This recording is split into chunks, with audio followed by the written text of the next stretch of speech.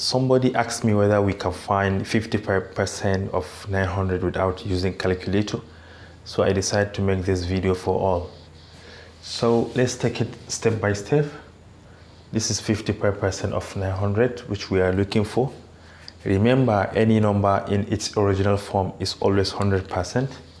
So 100% of 900 will still be 900. So what is 50% of 900? Let's see, 50%.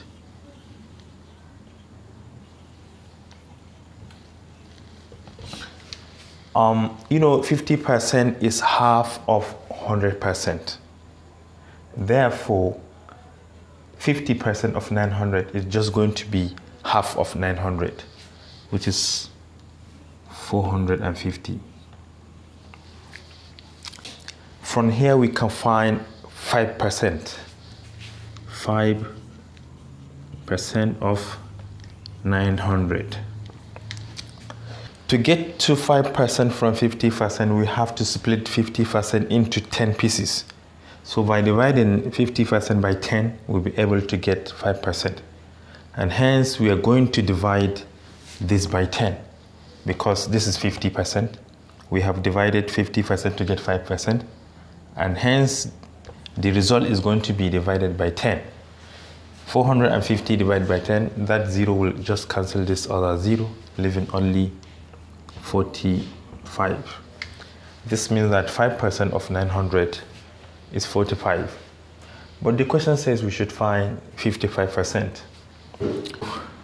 55% of 900 is just going to be the sum of 50 and 5 because 50 plus 5 is 55. So to obtain 55% of 900, we can just add 50% and 5% together. So this will be 594, 495, which is our final answer. Thank you for watching. Do have a nice day.